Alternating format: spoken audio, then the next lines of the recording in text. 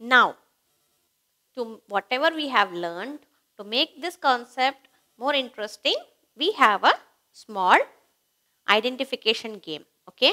Now, here, if you see, I have drawn few objects. Okay. And I have also given few dots. Now, we have to count the object and match it with the respective dots. What is it about? What did you, what do you see here?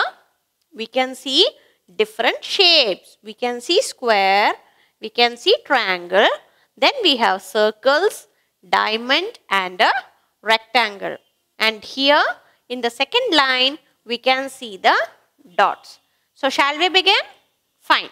Now, I will be counting the number of squares here. How many squares are there? There are 1, 2 and 3 squares. And where can we find th 3 dots over here? Is it 3 dots? No. Is it 3?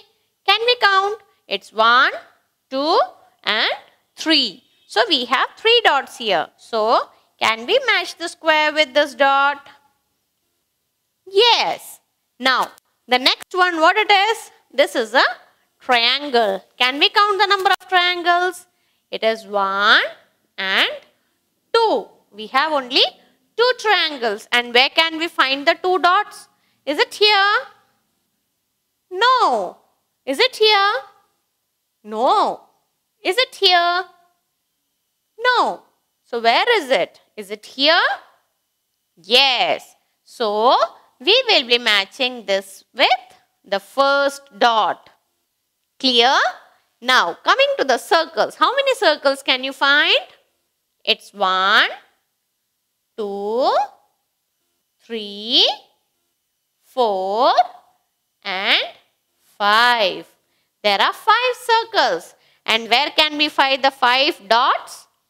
It's 1, 2, 3, 4 and 5. We can match these circles with these dots. Is it easy? Yes. So now shall we try with the next object? What is the next object?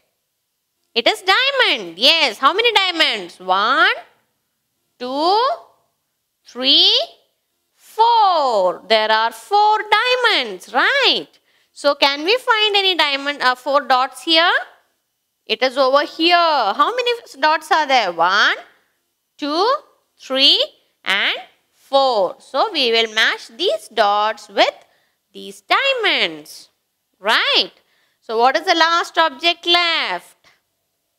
Yes, it is a rectangle, right? So how many rectangles are there? Very good. There is only one rectangle and there is one dot over here. So we will be matching this rectangle with this dot. Wow, it was so interesting and so easy to understand, right? So learning numbers is such a great fun. We can learn lot of new things through these numbers. So was it interesting? Yes. Shall we do it with some more exercises? Okay, fine.